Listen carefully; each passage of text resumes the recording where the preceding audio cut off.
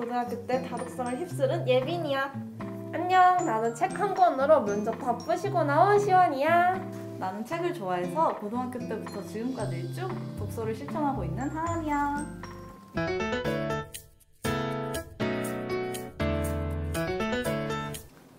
나는 책을 읽을 때 책이랑 옆에 메모지를 항상 같이 뒀던 것 같아. 페이지에 어떤 내용이 있었다. 이렇게 쓰고 또 책을 읽는 거지. 이렇게 쓰다 보면 결국엔 중요한 내용들이 착착착 연결이 되는 모습을 볼 수 있거든.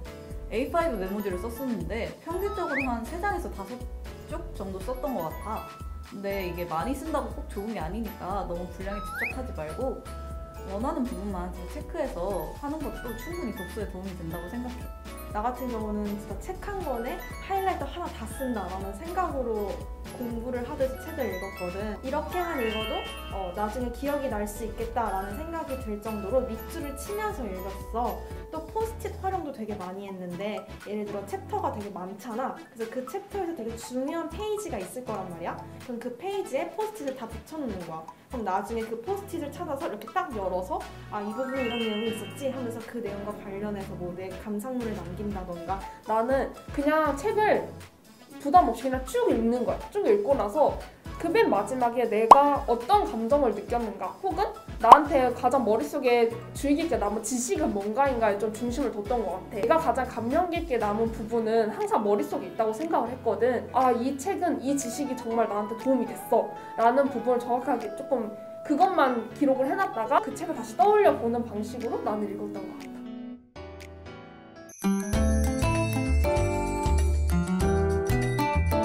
나는 챕터별로 골라서 읽는 방법도 추천을 하는데 왜냐하면 소설처럼 내용 전개 흐름으로 이루- 이루어지는 책이 아니라 약간 지식 관련 책은 어떤 챕터에는 어떤 지식, 어떤 챕터는 어떤 지식 이렇게 나뉘어져 있는 경우가 많아.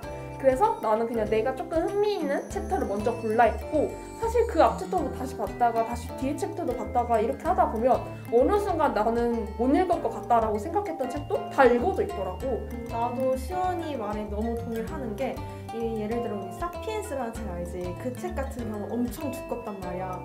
근데 이 책을 딱 봤을 때 "헉, 이거 언제 다 읽어? 이러면서 다 읽기 싫다라는 생각부터 들 수 있는데 애초에 이 책을 다 읽겠다는 생각을 하지를 말고 챕터별로 이 챕터 한번 골라 읽어볼까? 어, 몇 쪽 안 되네? 하면서 이렇게 읽기 시작하다 보면 어, 이 다음 부분도 읽어볼까? 어, 앞에도 읽어볼까? 하면서 궁금증이 생겨가지고 전반적으로 책을 다 읽게 돼. 물론 다 못 읽더라도 그건 괜찮은 게 진짜 그 책에서 이 정보가 다양하기 때문에 그 정보 중에 자기가 흥미 있는 정보만 얻었다는 것에서도 나는 그 책을 읽은 의의가 있다고 생각해. 근데 나는 그 방법대로 하게 되면 좋아하는 부분이 없어서 결국 책을 안 읽는 사태가 발생을 하더라고. 그래서 내가 추천하는 방법은 하루에 읽을 페이지를 정해두는 거야. 재밌으면 더 읽으면 되고 재미없으면 딱 거기서 멈추면 돼. 나도 이렇게 조금 규칙을 만들어서 하다 보니까 시원이랑 예빈이처럼 어느 순간 다 읽고 있었던 것 같아.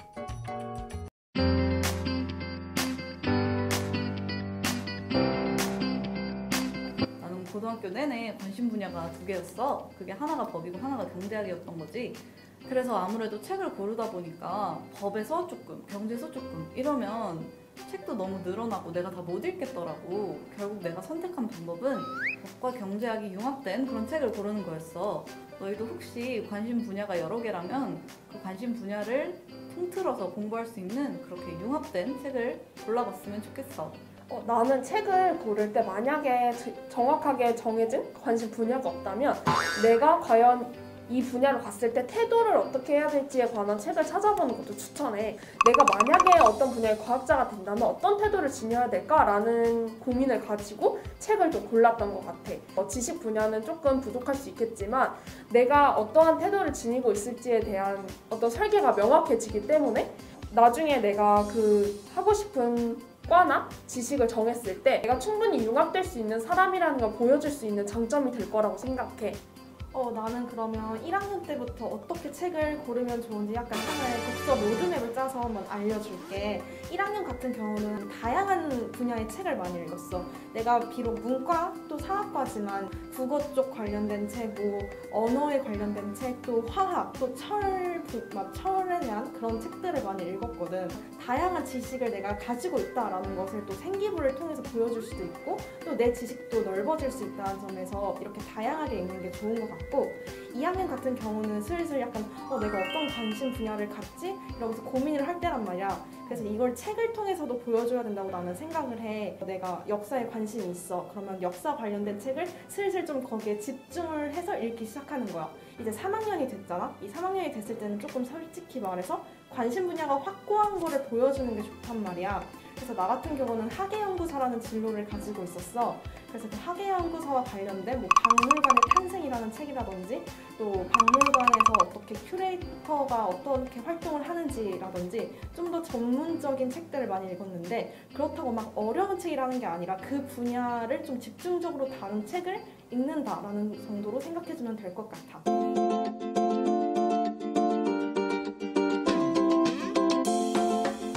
나는 근데 이 고민에 대해서 말해주고 싶은 부분이 굳이 어려운 지식을 요하는 책까지 찾아서 읽을 필요는 굳이 없다라는 의견이야. 그래서 굳이 막 정말 유명한 이기적 유전자 이런 책도 읽다 보면 굉장히 어려운 지식을 요하는 경우가 많아. 내가 아무리 대학교 지식을 찾아본다고 한들 나는 아직 고등학생이기 때문에 그걸 충분히 이해하지 못할 가능성이 크다고 생각을 하거든. 그 정말 고등학교 수준 내 안에 있는 그 책을 골라도 난 정말 그 책을 이해하기만 한다면 나 충분하다고 생각을 해. 나도 이 부분에 매우 동의를 하는 게 이게 이과 친구뿐만 아니라 솔직히 문과 친구들도 뭐 철학 관련된다든지 뭐 이때 나 같은 역사학과 같은 경우도 뭐 역사 철학 관련된 이런 책들 같은 경우는 되게 어렵단 말이야. 사실 읽다가 이게 무슨 말이지 하는데 사실 이런 책들을 그렇게까지 읽으면서 어 어떡하지 어떡하지 이런 고민하는 게 아니라 차라리 자기가 읽기 쉬운 책들을 찾으면서 그 안에서 스토리를 짜서 하나의 느낌점을 이렇게 독서 감상문과 뭐 생기부에 녹아내는 게 나는 더 추천을 해.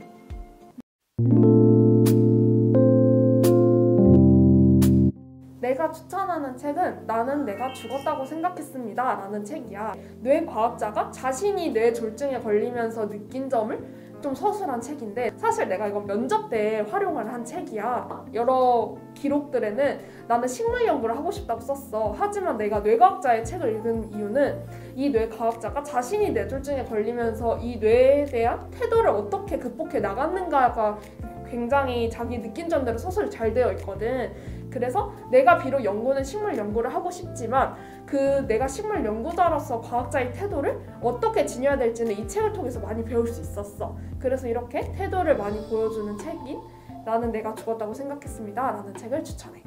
어, 나는 서울의 딴스호를 허하라 라는 책을 읽었어. 이 책 같은 경우는 딱 제목만 들었을 때, 어, 이게 무슨 책이지? 라고 싶을 수 있는데, 사실은 우리 일제강점기 때 막 모더니즘 이런 거 알고 있는지 모르겠는데, 그러한 내용을 담고 있는 책이야. 그래서 그 책 같은 경우는 그 안에서 그 시대 사람들이 어떻게 생활을 했는지 좀 되게 면밀하게 다양한 자료를 가지고 설명을 해줘. 그래서 예를 들어서 우리가 시중에선 접할 수 없는 그 시대의 잡지라던가, 뭐 그 시대 기사 같은 것들이 실려 있어서 아 이때 사람들은 이러한 생각을 했고 이러한 일들이 있었구나라는 것을 느낄 수 있고 당시 모던이라는 게 어떤 것인가에 대해서 굉장히 잘 서술을 해주는데 조금 아 모더니즘? 그러면 서양 관련된 그렇게만 생각할 수 있지만 그 속에서도 우리나라 사람들의 정서와 또 그때 감정들이 깃들어 있는 그런 생활 양상들을 보여주는 책이야. 그래서 역사에 관심이 있다라고 한다면 어, 한 번쯤은 좀 흥미를 가지고 읽어볼 수 있는 책인 것 같아요. 내가 추천하는 책은 지금 들고 있는 하이에크의 노예의 길이라는 책이야. 음, 혹시 그런 생각 해본 적 없어? 경제는 수학을 해서 어려울 것이다. 경제는 수식을 정말 많이 써서 경제 저서는 읽기 어려울 것이다. 나도 딱 그런 생각을 했었거든. 그런데 이 책에 보면 수식적인 내용은 그렇게 많이 없고 다 말로 풀어서 써주고 그리고 역사랑도 조금 연관이 있어서 경제가 어렵다고 생각하는 사람들한테 편하게 어, 읽으라고 추천할 수 있을 것 같아. 그렇지만 이 책이 쉽다는 건 아니야. 하지만 수식에 너무 겁먹을 필요가 없다는 것을 알려주고 싶어서 이 책을 가져왔어. 영상 잘 봤다면 구독, 좋아요. 알림 설정까지 부탁해. 잘